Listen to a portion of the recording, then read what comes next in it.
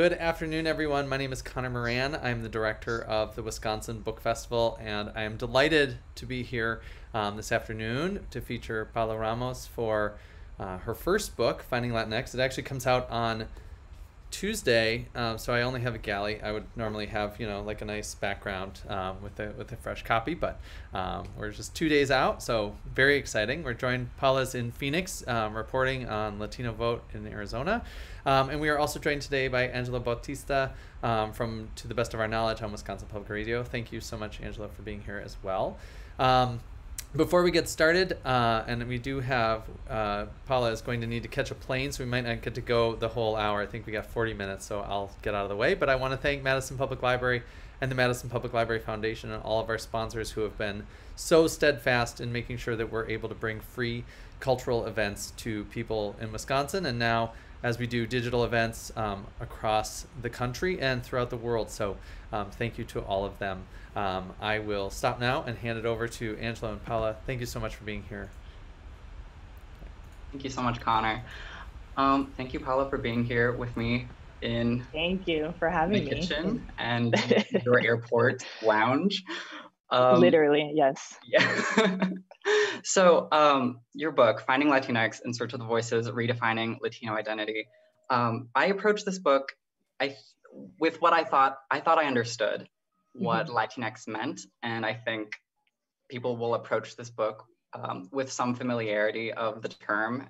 We're seeing it more and more now, even in the news. Um, what was it like for you to first hear the term Latinx? So I first heard it and I didn't know what it meant, but I but I know that it felt better, right? And so I think that's sort of like my that was my introduction with the word um, and with this like language where the word just sort of like just felt better and felt more like me and i didn't really understand what it meant and so that was my first introduction i think that's kind of the like beauty of this world that a lot of people i think particularly since like 2016 right when the word was all of a sudden popping up like more around the internet more around like activist circles um, random circles and then people were just using it right? And i remember having so many conversations and we were like what does it mean? We don't know. And just we kept using it right? And i think that's that's kind of like the beginning of the story of this word that it starts to embrace make people feel more included without truly knowing why no and then we can get into like what the word means for different people but i think that's like the beginning of the story that it the, the word feels better for a lot of people that for many years haven't felt included. Right. And you write about coming out as latinx. What what do you mean by that coming out? Um, I feel like I, you know, I, I grew up in in in, in different cities. Um, I feel like I grew up wearing different hats. You know? So I was born in Miami um, to a Mexican father and a Cuban mother. Um, and then when I was younger, when I was like about two years old, I moved to Spain. My parents separated. Um, and so when I was in Spain, I remember feeling Latina in Spain, right? And then when I would go to the US, I remember feeling, um, you know, sometimes more Mexican, others more Cuban, but then also you know, I had this childhood in Spain. And then growing up, um, my father, both of my parents work in Hispanic media, no? And so I grew up, you know, watching these very traditional images of what Latinos look like, whether that was in my dad's newscast or in the telenovelas that I grew up with. And I would I would look at that and I didn't I didn't really see myself, no? And then I would go to Mexico and I would be with my entire family there. And I felt 50% of that, but I also still didn't see myself and I didn't see myself in Cuban circles. And, and so I feel like in a lot of these spaces, at some points in my life, I had to wear different hats. No, I had to pretend to be more Latina according to their standards. And in this circle, because I'm also queer, um, you know, I had to choose to be Latino but not queer. And so I didn't feel like I could be all parts at once. And, and so there was a moment after 2016 where I realized, you know, for so long in my different careers, you know, in politics or in storytelling with my family in Europe or in the US, I had to choose a little bit of something. And, and so, so I think that's why the term Latinx felt right, because I felt like when I'm talking to you and I'm identifying myself, you get the whole of me in that one word. Mm. So um, the way I understood Latinx coming into this book was that it was a sort of identifying label for yourself. But when you write about it, you write a lot about seeing things through a Latinx lens, that it's not just a way of identifying, but a way of seeing not only yourself, but other people, communities, issues? What does it mean to look through a Latinx lens? Yeah. Um, so the first is understanding that the way that I see that X, right, is it's an invitation for anyone and everyone that has ever felt um, left out of the traditional Latino community, right? Um, you can be an Afro Latino, queer Latino, trans Latino, indigenous Latino. You can be a Latino um, who has only learned to speak English their entire lives, no, and was once told that they weren't, you know, Latino enough because they didn't speak Spanish. Um, that word is for you. You can be someone like my grandmother um, who was told that she deserved certain amount of rights, but truly this entire time she she was yearning for more. No, that that is Latinx. And so to look at to look at us through a Latinx lens is to to look at all of us, right? Is to understand that I myself are have similar stories to the 3 million Afro Latinos that are here. No, is to understand that there's 250,000 Latinos that also identify as Muslim. Um, it's to know that immigrants aren't just brown, no, that there's at least 4 million Black immigrants in this country. And beyond that, it's to stop looking at us through like a one dimensional immigration lens and understand all of the different intersectional issues that affect us, right? Whether that's criminal justice, whether that is climate change, um, whether that is race and, and all these different levels. Um, but it's to sort of like break these stereotypes that many have created about us for all of these years is to start understanding all the different, the way that we've evolved, you know, in the past 30, 40 years. Um, because I think, you know, part part of the interesting thing of this word is that for so long, mainstream media had told our stories. You know, pollsters had told our, our stories. People looked at us in numbers, and I think we sort of lost track of like how we had changed in the past 30, 40 years. No, um, and so all that Latinx does is to try and like take a look and understand like me myself, Paola, what did I do, you know, in the past 20 years, right? Why did I feel and how did I come out? Right? What are the different issues that affect me that are different from those that affect my, my parents? Mm. So you went in search of the voices that would represent Latinx, and it took you all across the country. There's even a map in the book of like the traces where you went, you literally went all over the United States and found all these different voices. Um, and what I found connecting all of these different experiences and different people, indigenous people, Afro-Latinos, um, and so on. You named a bunch of examples. Um, a lot, I, I think the connective thread between them is stories of trauma, but also resilience. You know, trauma mm-hmm. from, you know, um, the immigration system, systems that have neglected Afro-Latinos or abused, um, abused people, um, uh, histories of colonialism and racism, all these things. Um, how much does trauma inform Latinx identity and at what point does it stop defining it?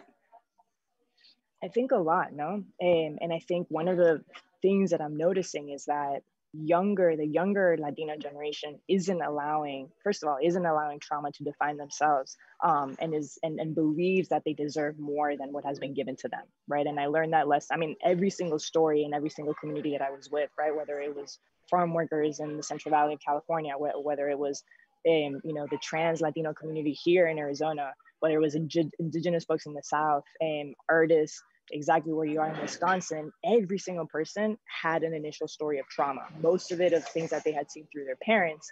But to me, the lesson, I truly learned that lesson um, through through young Latinos, particularly. So I, I think of um, people like Carlitos, right? So Carlitos was a student. Um, he was in Parkland, um, and you know he was obviously part of the day in which one he lost one of his best friends um, in high school due to the shooting um, and he saw those images right those are traumatic images of, of gun violence no and instead of accepting that reality he went on to create his own organization to to get younger Latinos to speak out about about gun violence, right? So that's one example. Um, another example was when I was in El Paso in Texas, the same thing, right? These are these are folks that that had been part of and witnessed a, a massive massacre, um, and instead of keeping their head down, you know, and instead of accepting um, what other people told them, no, that they didn't belong there. And they were trying getting out the vote in the 2018 midterms, right? And they they recorded, they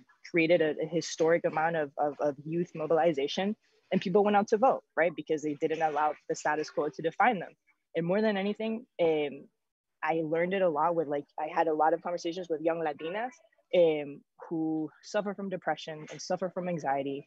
Um, you know, young Latinas that have seen their parents be criminalized. No, some undocumented, others live in mixed status families, and when their parents were told, no, to not talk about mental health, no, to not talk about um, sadness, they didn't take that, no, and they, they they're starting to talk about it openly, no, and so yes, there there is there is trauma in a lot of these stories, but it's it's incredible to see what young what young people are doing about that, no, that they're speaking, and they can be broken, but they're choosing to to go beyond that.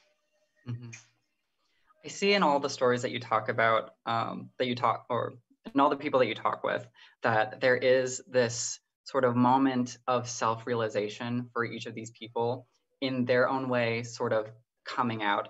Not that they would ever use the term Latinx, um, and you, um, it, the people that you talk to, um, most of them actually don't use right. the term for themselves, but there is a sort of coming out moment um, in which they kind of come into their own identity, whether that's being uh, Black or Muslim or no longer wanting to be defined by trauma. Um, and there's something, there's something, hmm, what am I trying to say? Yeah. No, I, I I'm not gonna finish the sentence for you, but but that that's been sort of um the you know the takeaway really is that people are now it's happening now people particularly in a moment where you know you, you can agree with, with trump or not. Or you can be a republican or a democrat but th- this is a time where many people do feel some form of oppression no? Many people do feel divided.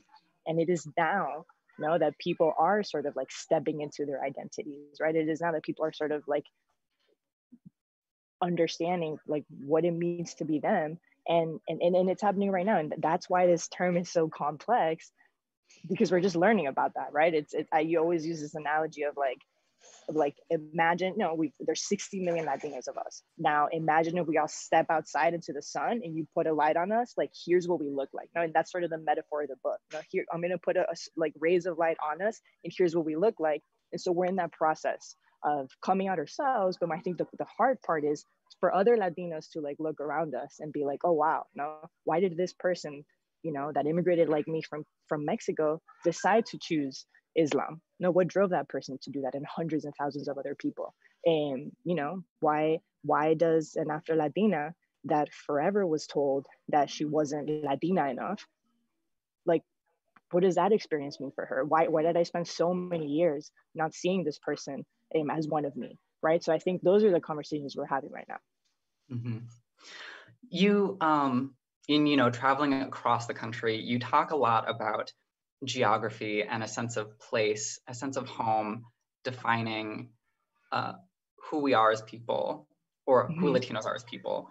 Um, so can we talk about that for you? You talk about growing up in the Miami bubble and mm-hmm. what it meant to leave and what that yeah. taught you. What did that teach you?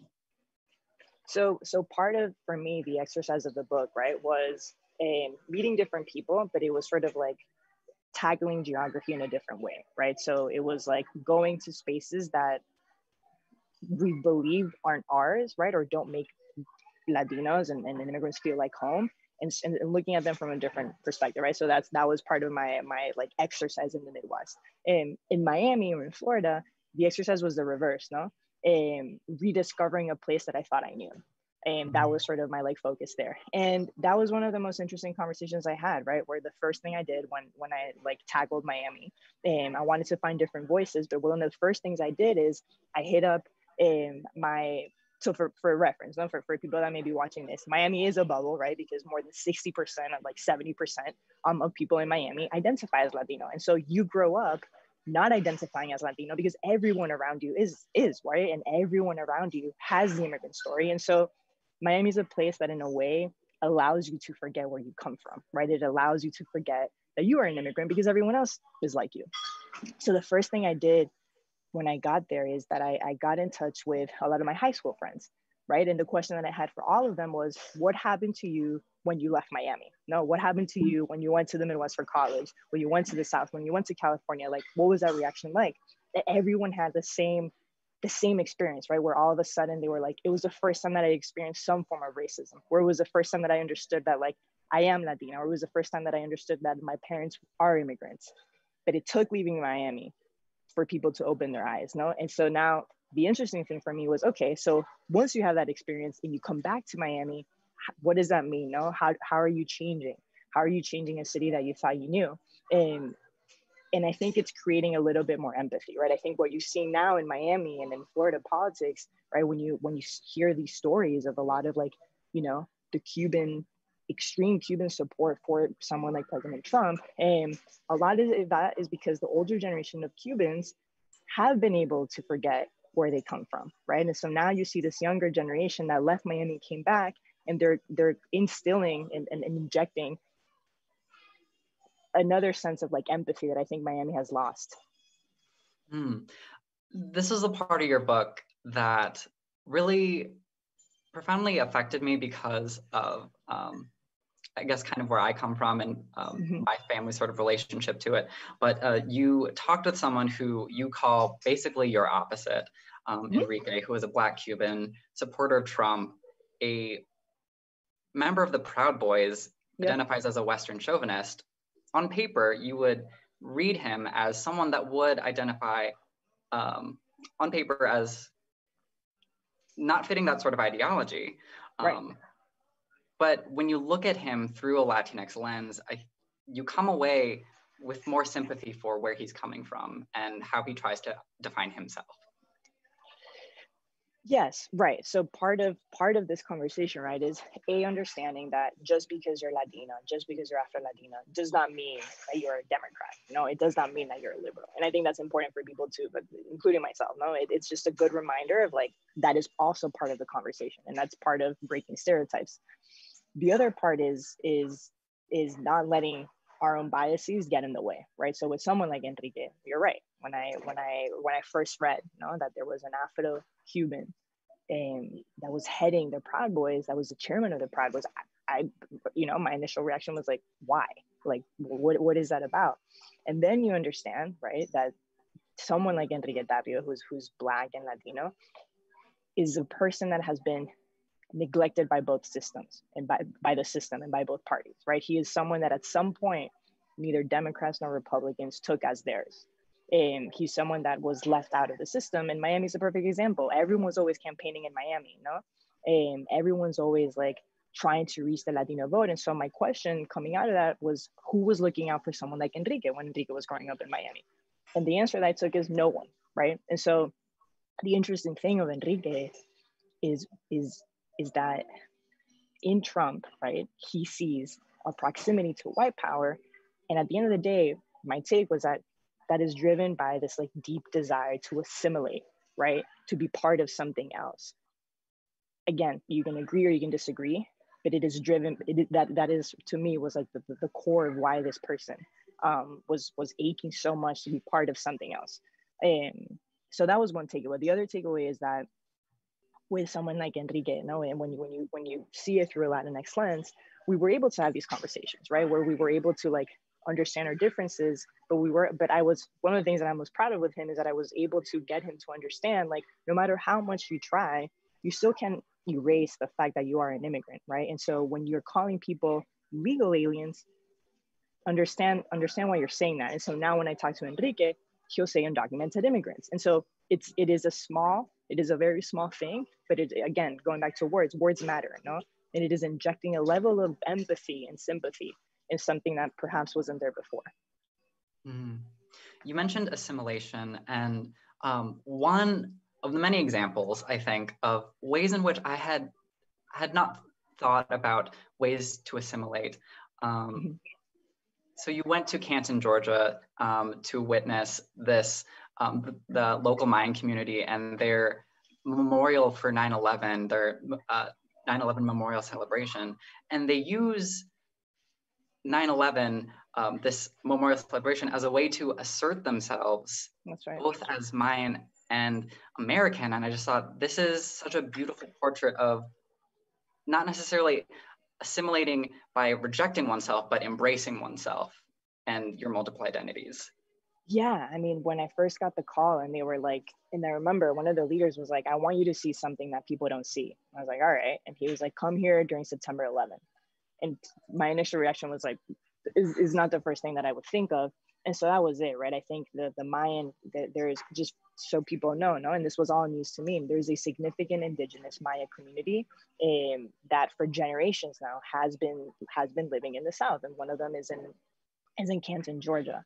Um, and so for them they wanted to take september 11 as a way for other americans to understand um, and to redefine what patriotism meant right? Um, and for them it was both like honoring the united states right and like honoring honoring what America has brought them, but it was also a way for them to say, the what this country has allowed me is to hold on tight to my Mayan roots, right? It's to hold on tight to my indigenous language, it's to hold on tight to my name tradition and to my culture. You know, and that is the beauty of America. And like I found that, you know, I found that symbolism in like the most unexpected of places in like Canton, Georgia. And so, you know, the, I met a lot of young Mayan kids who saw their parents fall back into silence. No, when people would talk to them, the, the parents would like try and either speak in Spanish or in English, but they would choose actively to not speak in their Maya language. So in Mamo and Q'anjob'al, these are kids that saw their parents.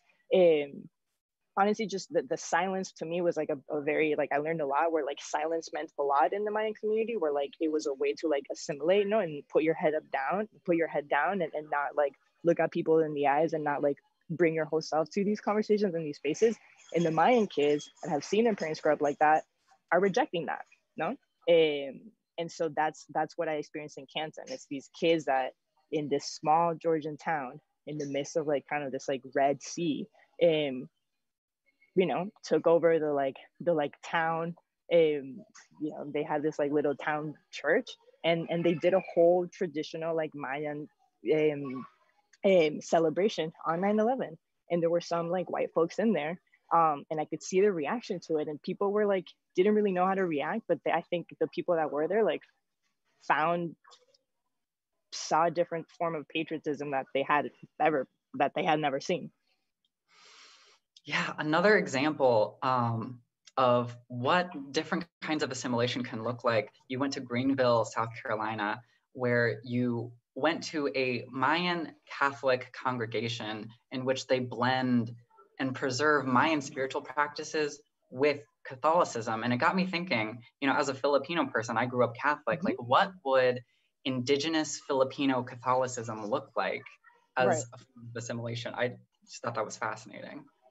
Yeah, and that's that's one of the things where I feel like if more people understood, like in just in, in this particular community, like the Mayan community, through like you know when we think of patriotism a lot of like sp- specifically now no a lot of people think about like religion knowing the love of god and like these like traditional values.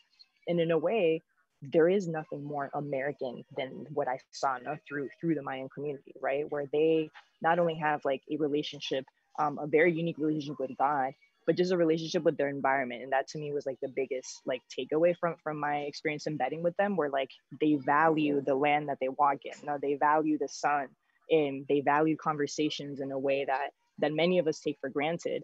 Um, and then you start thinking and it goes back to like of course like they they they are the first peoples you know they are they, they were in the americas before anyone does. And so they have a relationship with land and with geography that we may think is random but for them it's like and i and, and i and i always think about this right? And I remember being like, you know, what, what, what does it feel like to be here? And they were like, it feels just like home. Know, it feels just like being in Guatemala. No? And I remember one, one of one of the leaders was like, just look around you, you know, the trees. And, and, and that is part of the history, right? And so what what to us is random to them to them is familiar, to them is home, to them is their land. Mm-hmm. You travel to so many places uh, where you find communities that are uh, that you would not expect to be there. And when you ask the question like, "How did you end up here?" Um, it kind of ends up becoming obvious. It's because, you know, they just made it their home. It's yes, and it goes back to um, I was thinking about it. It goes back to love. You know, you go with where you go where your loved ones are. You know, and th- that's that is the the core of these migration patterns. You know? If your if your loved one is in these cities, know, or in these places, you go, and and that and you can be in Georgia, you can be in the Midwest, you can be in the border. Um, and that is kind of this like unstoppable force. No, and putting politics aside though, like no wall and no policy will end that. No, if your loved ones are there and people make these places feel like home. Mm-hmm. Um, so we've been talking about the South. Let's bring it to the Midwest. So you actually came to Wisconsin and to Madison. What did you find here? Yeah. Um, so I, I, you know, I, I embarrassed to say that I hadn't been, I hadn't been to Wisconsin um, until I went there for the first time, and um, through, through this book. And I have, I have since gone um, multiple times, and I've done some reporting with Vice. But again, my, my idea for this like Midwestern chapter um, was to make a place like the Midwest feel like home, right? And then truly understand that over the past decades, like the Latino population growth has, I mean, Latinos are growing in the Midwest and in the South and at higher levels than they are in Florida. And, and so what I did there is I tried to, I tried to guide myself through culture, right? And so it was through food, you know, and I wanted to see what people were doing with food. And then in Wisconsin, it was through music. And, and so what I found in Wisconsin was that there is this like, first of all, I didn't know that Wisconsin had the largest Latino music festival in the entire country which was like all news to me. And I was like, that's interesting. And so from there, I like just started like figuring out like what, what, what was that foundation. And, and I found that there's just like these incredible young Latino musicians um, that are like completely impacting culture and making a place like Wisconsin theirs, no? And so I spent some time in Milwaukee and with a like mariachi band in the south side of Milwaukee. And I spent some time with two hip hop artists, two Latino hip hop artists that also grew up in the South Side. But then instead of like holding on to traditional Latino music, they're merging it with hip hop and with cumbia and electronic music. And I met a lot of like Latino DJs that same that are like, I don't want to be in the Latino circle. I want to do electronic music, right? And like European music. And so it was um it was amazing. And I think back of like the biggest thing I learned, particularly with Brown's crew, which is this like hip hop in crew in, in Milwaukee, and they they they kept saying they're like, in order to know where you're going, you got to know where you come from, you know. And that's that was a message throughout all of these different like musical themes that I found. Like music was a way to like get people rooted in where they were, where they're from, but then allow allow that to give them the like creative freedom um, to be who they want to be. And I think music, music allows you to do that. No, in, in that music, no, in these music rooms with notes, you can you can do whatever you want and you can feel however you want and that was it was amazing to watch. Mm-hmm. That was so surprising. I feel bad that I had missed the Los Dells when Bad Bunny and Omar Apollo came been. here. Yeah. Uh, yeah, and it just makes me so proud to think about um, the sort of vibrancy that you can even find in the Midwest. Um, yeah, and it, and I didn't I didn't know that. I mean, I and that that that was on me, and I feel like that was you know that's that's a lot of people's reactions. They were like, wait, what? You're like you found all these like these amazing artists. And and yeah and that was that was sort of like the theme of the midwest right? And in illinois i wanted to drive myself through food in wisconsin through music in in iowa through religion and language. And so understanding how for generations latinos have made homes and, and felt people and, and, and, and sorry and, um, and a lot of people feel like home through their own culture. Mm-hmm. So um, I want to bring it now back, or uh, I want to bring it to politics again. Um, mm-hmm. It's not lost on us that we're in the middle of an election, and you are you are just now coming back from a reporting trip. What are you seeing in the Latino community in regard to this election and the Latino vote? Um, I'll I'll tell you just based on what I'm seeing here. So I'm I'm in Arizona, right? And just for context, right? Arizona is a is a place where um, President Trump won by less than 4% in 2016. Um, it's also a place that has not seen a Democrat, um, a presidential a Democratic nominee has not won the state of Arizona since 1996, right? And now all of a sudden you see that Joe Biden is sort of leading in the polls. All this to say that like Arizona is the battleground state right now. Um, and so there's this interesting dynamic that is happening where um, you know, people know that Joe Biden is going to win the national Latino vote. But then all of a sudden, if you zoom in, you start to see this like gender divide between the way that Latinas are preferring Joe Biden and the way that Latinos are.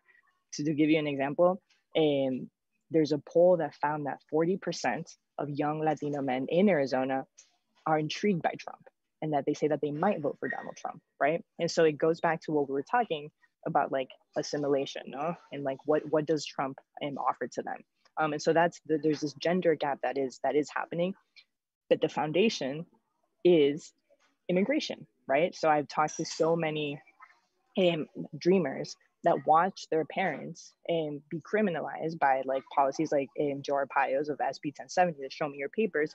And no matter where you look, you know, you can be for Trump or for Biden, like that legacy is lingering everywhere in this state, right? Where you have these like young people that grew up watching this. I grew up in this like anti-immigrant history.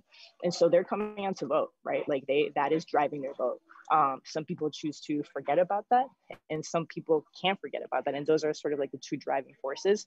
Um, and I think every state has some form of that in play. No, but I, to me, like Arizona is a perfect like example of like what to expect across the country. Like Latinos will vote, um, but it's way more nuanced than we think. You know, and the the the undercurrent is it always goes back to history. You know, how have these young people, what have they grown up seeing among them? Mm-hmm. It's so easy to forget the sort of histories and stories when we talk about Latinos as a voting block or a voting demographic or just mm-hmm. um, as data points. Um, so I'm very yeah, and that's that's the tendency, right? Like the tendency is, and that's an easier story, right? When the story is like, you know, Latinos will come to vote, no, Latinos will overwhelmingly vote for Democrats. Like, sure, that's like the one percent of the story, um, but there's so many like nuances and like, what does it mean to be a mixed status family? What does it mean to grow under Joe Arpaio? What does it mean to be like a traditional Latino man that is scared of change, right? Um, and the problem is that there's not a lot of data out there, right? There's not enough research. There's, there hasn't ever been enough resources and money invested in understanding this block. Yeah. But let's see. Yeah. Um, so uh, you reported this out um, in a much different time than that we're living in right now, because you know otherwise we would be talking face to face on a stage somewhere in mm-hmm. Wisconsin. Um, what are you seeing? Um, how are you seeing Latinos being affected by the coronavirus? And what does that say for Latinx? Yeah, I mean, I think I think um, that that is the number one issue right now. No, um, that I think a lot of Latinos are saying that this virus, like this election has no longer become about politics. It's no truly like it is no longer about like Trump or Biden. It is for many of them, it is it's it's a matter of survival. No, it is a matter of like life and death. It's simple, right? There's over 36,000 Latinos that have died. You look at May and the unemployment rate for Latinos was at 18%.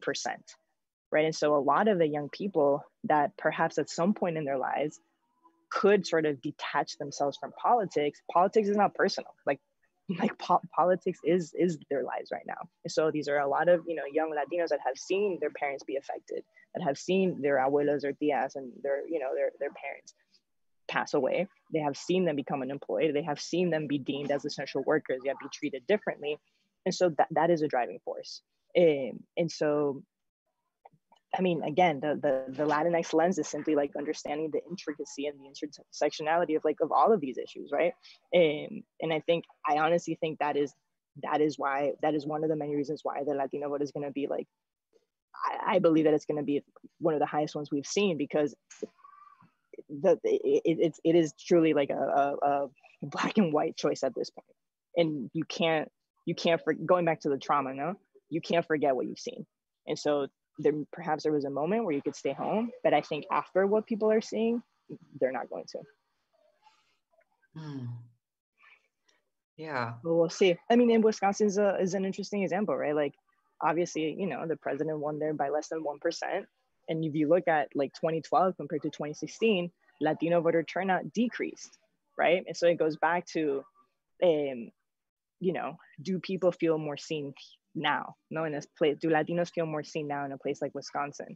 And have they talked about issues that go beyond immigration? You know, have campaigns spent enough time looking at the Midwest, not through a Latino lens, but through like a winning lens, you know, like to, to win a place like Wisconsin, you do need those Latinos to turn out in a way that they did in 2016. So mm. we'll see. You think they're underestimating the Latino voting power? I think they've done a, I think they've done a way better job. And I, I do and i think there's there's so much more to be done there's so many more lessons learned i think everyone's learning i think you have to not be scared of making mistakes you you you can't be scared of asking questions i think a lot of this debate comes down to the most simple questions you know of like of, of, of campaigns and politicians asking young latinos like what is the agenda that you want to see? The other day I was I was here in Arizona and I asked someone, I was like, has has anyone ever asked you what change you want to see? And they're like, no, right? So I think it, it goes back to the basics. Yeah. So um, we're reaching the end here. Uh, I want to ask you, and you know, um, it's hard to predict what's going to happen in the next three weeks. It's harder to predict what's going to happen in the next year or more. Um, but big picture, what do you hope for the future of Latinx?